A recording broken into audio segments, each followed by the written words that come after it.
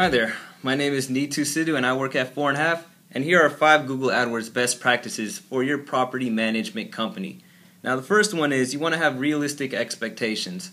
A lot of people go in with the wrong mindset that Google AdWords is their number one marketing solution, and it's one of the it's one of one great way to get on the first page of Google and drive in some leads. But you want to make sure instead of thinking of getting 10 leads a week, that you're going to get five quality leads a month with the healthy budget. Which leads me to the next point that you want to make sure you choose the right budget. A lot of clients we suggest to go no lower than $500 because the way Google AdWords works is they translate that $500 and they put it into a daily budget.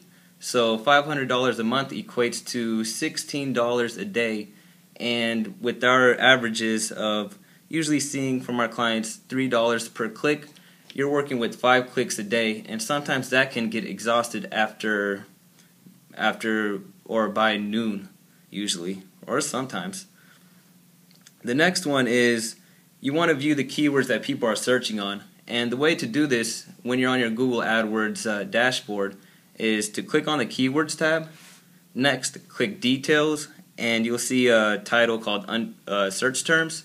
Under that, you will click All, and you could view the search terms that people were searching when they clicked your ad.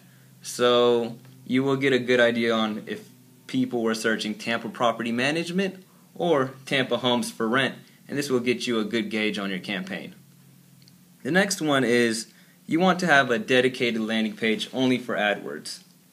This will help you decide on uh, the return on investment that you're getting off of AdWords and it's important to note that you want to make sure that landing page that landing page doesn't lead to other links on your website. So people you may be missing out on leads. You want to make sure that this is the only page that they could go on and that they're going to be signing up for more information.